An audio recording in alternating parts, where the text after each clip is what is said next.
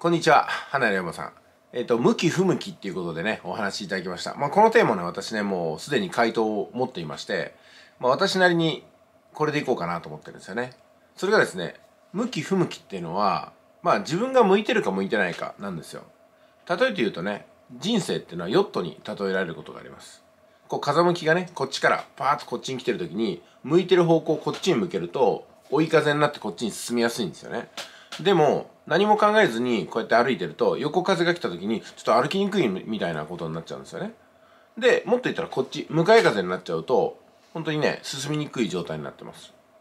まあ、ですんでね、世の中にいろんな風向きがあります。例えば、まあ、YouTube でもいいんですけどもね、えー、アフィリエイトでもいいんですけども、それから何かの製造業でもいいですよね。最近、ポケベルってどうですかねポケベルって世の中に今向いてないですよね。うんポケベル向いてないんですよ。でも今一生懸命ポケベルを作ろうと思うと、まあ今の世の中には向いてないってことになりますよね。でも、ポケベルが今の世の中に向いてるように作ることができると思うんですよ。その場合は方針転換してポケベルの機能を別の方向に変えていかなくちゃいけないんですよ。別の方向に変えた時に風向きがこっちからこっちだったら、まさに追い風になっていくってことになります。つまりね、向き不向きってのは、自分が今の情勢に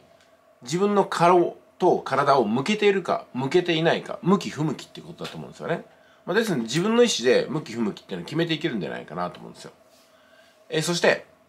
自分に向かい風が吹いてると思っても、180度自分が方向を変えると、不向きが向きになるわけなんですよね。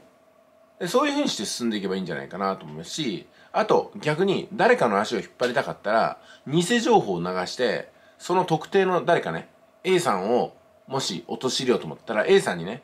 あの、今はね、こういう風にした方がいいよっていう風に全く別の情報を流すんですよ。そしてその A さんが、なるほどと思ってこっち向いたら向かい風になっちゃうみたいな感じで妨害することもできるのかなっていうことがあります。えそしてこの向き不向き、これを使いこなした時に一皮向けた状態、要するに向いた状態っていうことになるのかなと思うんですけども、お後がよろしいようで。それでは失礼します。